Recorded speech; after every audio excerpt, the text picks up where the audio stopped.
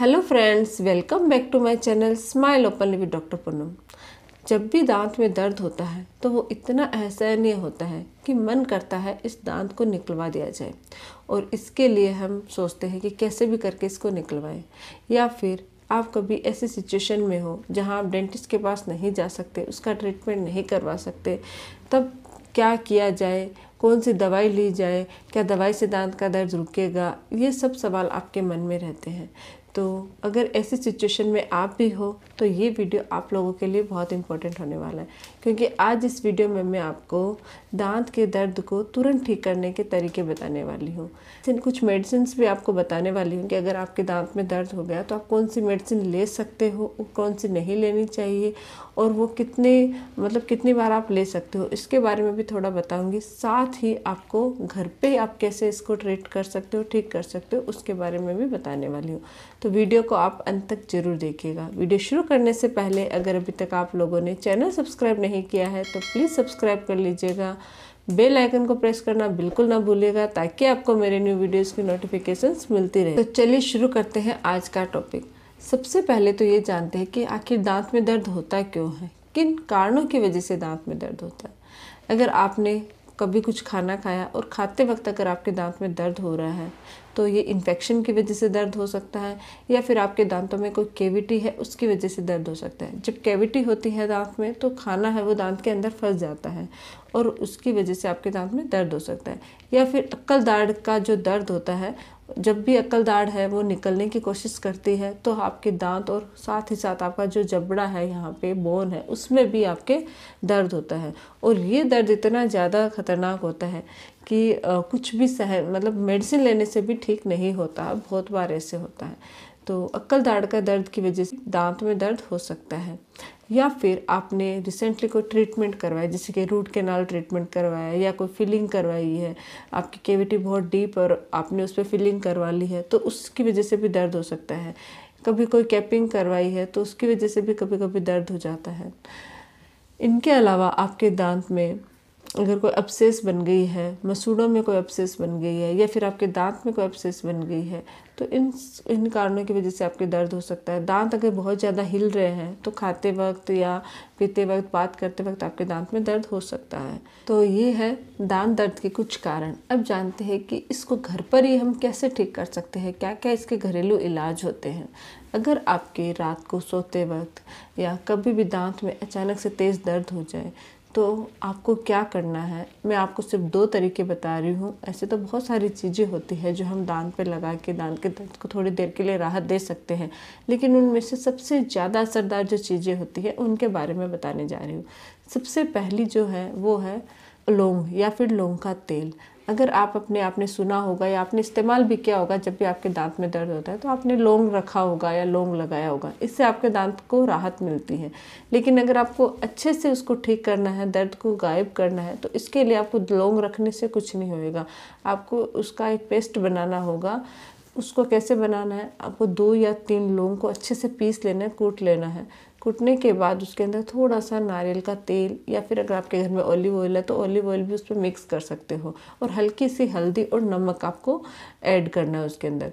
उसको अच्छे से मिक्स करने के बाद उस पेस्ट को कॉटन की मदद से कॉटन रोल बना लीजिए और कॉटन रोल की मदद से जिस दांत में आपके दर्द हो रहा है, वहाँ लगा के, दबा के कुछ देर के लिए रख दीजिए। ऐसा अगर आप करते हो तो आपका दांत का दर्द है वो कुछ ही टाइम यानी within five to ten minutes दर्द है वो कम हो जाएगा और धीरे धीरे वो ठीक हो जाए ऐसा नहीं होता है कि आपने जो लौंग का पेस्ट है वो लगाया और आपका दांत का दर्द हमेशा के लिए गायब हो गया। ये सिर्फ़ टेम्प्रेरी रिलीफ होता है। दांत में जब भी दर्द होगा, किसी न किसी कारण की वजह से होता है। तो उसका ट्रीटमेंट करवाना बहुत ज़रूरी होता है। तो एक बार टेम्प्रेरी रिलीफ जब आपको मिल जाता है तो दूसरे दिन आप डेंटिस्ट से अपॉइंटमेंट लेके डेंटिस्ट के पास जाके उसका परमानेंट ट्रीटमेंट करवाइए। उससे आपको परमानेंटली रिलीफ मिलेगा।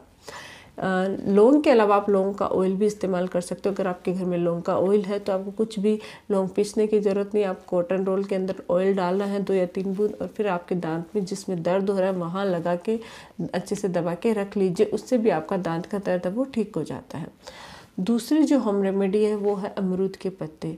अमरूद की पत्तियों में इसमें एंटी इन्फ्लेमेटरी गुण होता है एनल जैसे गुण होता है, साथ ही एंटी माइक्रोबियल गुण होता है, जो आपके मुँह में मौजूद जो बैक्टीरिया होते हैं, दांतों और मसूड़ों में, जो बेड माइक्रो ऑर्गेनिज्म होते हैं, उनको वो डिस्ट्रॉय करने का काम करते हैं, साथ ही इन्फ्लामेशन दूर करते हैं और एनल जैसे गुण की वजह से आपके दांत के दर्द को भी ठीक करता है। तो आपको क्या करना है, इसके दो या तीन तरीके हैं इस्तेमाल करने के। अगर आपके फ्रंट दांत में या दर्द हो रहा है तो आप दांत अमरूद की पत्तियों को, ताज़ा अमरूद की पत्तियाँ लेने, उसको चबा भी सकते हो। चबाने से भी इसमें फ़र्क पड़ता है। अगर मसूड़ों में इन्फेक्शन है, दांत में दर्द है तो वो ठीक होता है। तो अमरूद की पत्तियाँ चबाने से आपका हल्का इन्फेक्शन और दर्द तो ठीक हो जाता है, लेकिन अगर आपकी बहुत सीवियर पेन है तो ऐसी सिचुएशन में आपको ताज़ा अमरूद की पत्तियों को एक बाउल में उबाल लेना है, यानी पानी गर्म उबला हुआ पानी है, उसमें पत्तियाँ डालनी है थोड़ी देर और दो या तीन मिनट तक चलाते रहना है। फिर उस पानी को छान कर एक गिलास पानी के अंदर एक चम्मच नमक डाल के आपको अच्छे से कुल्ले करना है। कुल्ले करने से भी आपके दांतों और मसूड़ों का दर्द और इन्फेक्शन दोनों ठीक होते हैं। मसूड़ों में भी अगर कोई इन्फेक्शन है, वो ठीक होता है। दांतों में केविटी है तो उसका दर्द भी ठीक होता है। अगर अक्ल दाढ़ की वजह से आपके दांत में दर्द हो रहा है तो वो भी ठीक होता है। तो इसका एक एक नेचुरल माउथ वॉश की तरह भी काम करता है। इसके अलावा आपको अमरूद की पत्तियों को पीस कर इसका पेस्ट बनाकर इसमें थोड़ा सा हल्दी और नमक ऐड करके उसको भी अगर आप जिस दांत में दर्द हो रहा है, वहाँ लगा के कुछ देर तक छोड़ते हो तो इससे भी आपके दांत का दर्द है, वो ठीक होता है।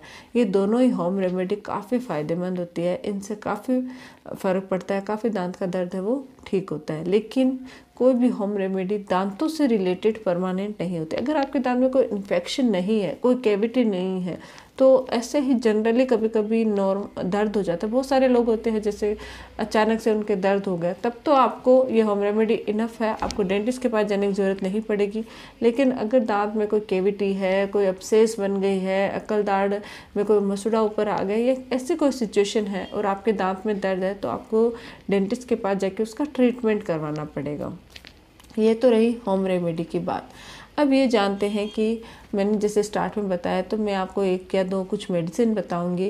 अगर आप होम रेमेडी से ठीक नहीं हो पा रहे और आपको टेम्प्रेरी अपने दांत के दर्द को ठीक करना है तुरंत तो कौन सी मेडिसिन ले सकते हैं? अक्सर क्या होता है कि गलत मेडिसिन की वजह से साइड इफ़ेक्ट शुरू हो जाते हैं। तो दांत में बिना प्रिस्क्रिप्शन के एक तो मेडिसिन नहीं लेनी होती है। अगर आप अपने मन से दवाइयाँ ले रहे हो तो वो आपके और बॉडी में दूसरी जगह जाके नुकसान करती है। लेकिन अगर आपके दांत में तेज़ दर्द हो गया और आप चाहते हो कि नहीं, मुझे कोई मेडिसिन लेनी है तो आप नॉर्मल इबूप्रोफेन ले सकते हो। एनर्जेसिक जो मेडिसिन आती हैं आपको वही लेनी है। एक या दो मेडिसिन के मेडिसिन से ज़्यादा आपको बिना प्रिस्क्रिप्शन नहीं लेना है। या फिर आप कभी कभी अगर बहुत सीवियर है तो आप कैट्रोल डी भी ले यानी कैटोफोर्ड जिसमें होता है सॉल्ट, वो कैट्रोल आप दांत के दर्द के लिए ले सकते हो। लेकिन वो मेडिसिन भी आपको कंटिन्यू नहीं लेनी है कि आपने दांत में दर्द एक बार रुक गया फिर जैसे दर्द शुरू हुआ, फिर से आपने मेडिसिन ले ली, ऐसा आपको बिल्कुल नहीं करना है। ये सिर्फ़ टेम्परेरी एक थोड़ी सी देर के लिए होता है। कि जिस टाइम आपको डेंटिस्ट नहीं मिल रहा है। साथ, मैंने बहुत सारे मेरे ऐसे पेशेंट्स हैं, जिनको देखा है कि कभी वो डेंटिस्ट के पास गए, उन्होंने डेंटिस्ट ने उनके दांत में दर्द के लिए या टेम्प्रेरी रिलीफ के लिए अगर उनको एंटीबायोटिक का कुछ कोर्स दिया है तो वो अपने मन से दोबारा जब उनके कभी भी दर्द हुआ, कभी भी कोई प्रॉब्लम हुई तो खुद से ही मेडिसिन लेके आ जाते हैं। ऐसा आपको नहीं करना है। आपको बिना प्रिस्क्रिप्शन एंटीबायोटिक्स बिल्कुल भी नहीं लेनी है, क्योंकि आपके दांत में दर्द किस वजह से है बैक्टीरिया इन्फेक्शन है या नहीं है, उसके हिसाब से डेंटिस्ट है, वो आपको दवाई लिख के देते हैं। ऐसा नहीं होता है कि आपके जब भी दांत में दर्द हुआ और आप एंटीबायोटिक का कोर्स ले रहे हो, एंटीबायोटिक लेके आ रहे हो, उससे आपको दुगुना नुकसान हो सकता है, दूसरी कोई प्रॉब्लम्स हो सकती हैं। इसलिए बिना प्रिस्क्रिप्शन के आपको मेडिसिन नहीं लेनी है। जब भी आप होम रेमेडी ट्राई कर सकते हो। उसमें कोई साइड इफ़ेक्ट नहीं होता है। जब भी आपके दर्द हुआ, जैसे मैंने अभी आपको दो होम रेमेडी बताई है, आप उनको कीजिए और आपके दर्द को टेम्प्रेरी रिलीफ दीजिए और जैसे ही आप ऐसी सिचुएशन में आ गए कि, यानी कि रात को दर्द हुआ और आप सुबह डेंटिस्ट के पास जा सकते हो तो आप डेंटिस्ट के पास जाके उसका पक्का परमानेंट इलाज करवाइए और जब डॉक्टर आपको प्रिस्क्राइब करे, तभी आपको मेडिसिन लेनी है। तो ये है मेरा आज का टॉपिक अगर आप लोगों को ये वीडियो अच्छा लगे तो प्लीज़ चैनल को लाइक कीजिए शेयर कीजिए सब्सक्राइब कीजिए। साथ ही ज्वाइन बटन पर क्लिक करके आप मेंबरशिप ज्वाइन कर सकते हो और दांतों और मसूड़ों से रिलेटेड कोई भी समस्या हो तो आप कमेंट करके हमें पूछ सकते हैं। Thank you